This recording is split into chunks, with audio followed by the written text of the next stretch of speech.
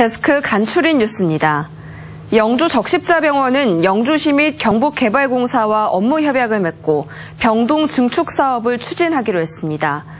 영주 적십자병원은 보건복지부의 공공병원 기능 보강 사업에 선정돼 오는 2025년까지 기존 150병상에서 245병상으로 95병상을 증축할 계획입니다.